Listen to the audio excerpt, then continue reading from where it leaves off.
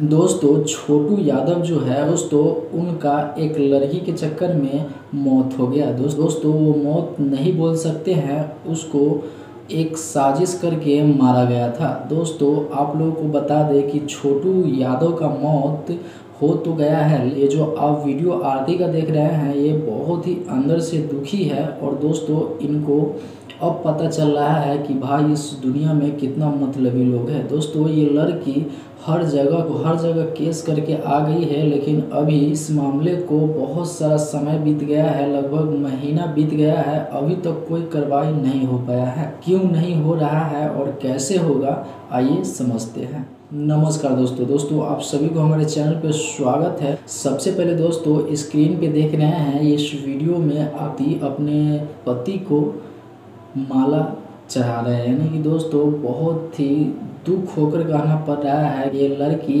इतना ज़्यादा अभी टेंशन में है कि ये हर जगह हर जगह हर तरीके से आजमा कर देख लिया, केस भी हर जगह से कर दिया, लेकिन दोस्तों, आरती के घर वालों को कोई सज़ा नहीं हुआ है। दोस्तों, पता चला है, आप लोग मेरा वीडियो देखे होइएगा। उस वीडियो में बताए हैं कि उसका भाई का जेल हुआ है। दोस्तों, लेकिन अदर जो व्यक्ति है, वो सब ऐसा ही घूम रहा है। दोस्तों, छोटू का ये माँ देखिए क्या कह रही है और कैसे रो रही है। कुछ पूरा कर राखी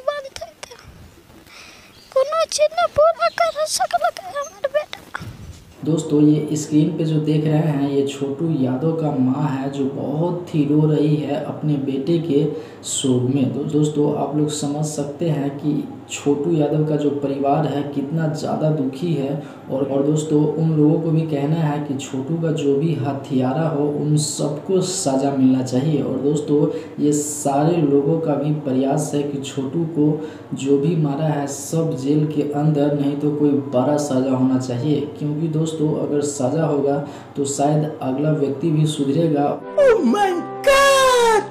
दोस्तों बिहार में सरकार को हमेशा ढिलाई रहता है और जब तक एक व्यक्ति को जो अपराध करता है उनको सज़ा नहीं मिलेगा जब तक एक दूसरे से लोग सुधरेंगे नहीं। नहीं। और दोस्तों, आइए बात करेंगे कि भाई कार्रवाई कैसे होगा। दोस्तों, आप लोगों को बता दें, कार्रवाई करने के लिए आरती को खुद जाना होगा जेल कोर्ट में वहाँ से इनको खुद जाकर केस एफआईआर करना होगा, किसी के साथ में लेकर यानी कि छोटू यादव का भी घर पे है।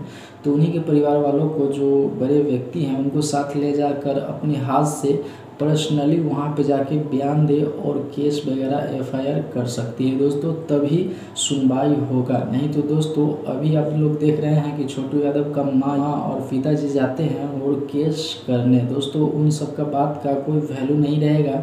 जब तक आरती नहीं जाएगी, तब तक कुछ नहीं हो पाएगा। ये मामला धीरे धीरे दबता जा रहा है। दोस्तों, अगर दब गया तो शायद छोटू का हथियार का सजा नहीं हो पाएगा और उस छोटू यादव का माँ और पिता जी ऐसे ही रोते रह जाएँगे। दोस्तों, उनका भी कोई उम्मीद है और उनका भी कोई सपना है कि मेरे बेटा रहता तो आज ये करता, लेकिन अभी बेटे का मौत से आप लोग देख रहे हैं इन सब का हालत क्या हो गया है। दोस्तों, इस जगह पे कोई भी रहता तो यही हालत होता और कोई भी व्यक्ति अपने बेटा को खोया है तो तो भाई प्रयास करेगा ही कि मेरे बेटा को हथियारा को जेल हो और उसको सज़ा, कड़ी से कड़ी सज़ा मिले। ये आप इस वीडियो से समझ गए होंगे और आरती जाकर ही छोटू को हथियारों को जेल भेज सकता है। दोस्तों, आप लोग बताइए कि आरती को जाना चाहिए हर जगह या नहीं? दोस्तों, उम्मीद करते हैं ये वीडियो पसंद आया होगा। अगर पसंद आया है तो वीडियो को लाइक कर दीजिए, शेयर कर दीजिए और चैनल को सब्सक्राइब करना तो बिल्कुल नहीं भूलिएगा,